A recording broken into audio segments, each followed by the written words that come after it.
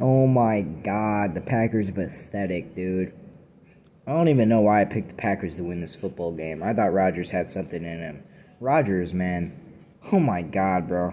Fire Matt LaFleur. That dude is horrible, bro. Worst coach I've ever seen.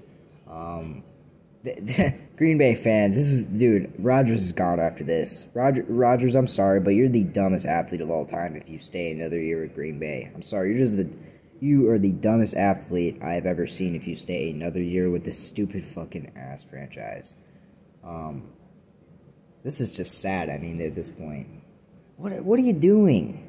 What what is Matt LaFleur doing? I don't understand. He just wasted another MVP Rodgers year. Rodgers about to win a second straight MVP. And um, it didn't even matter. Bro, honestly, this 49ers defense might be one of the best in football. It's just a fact.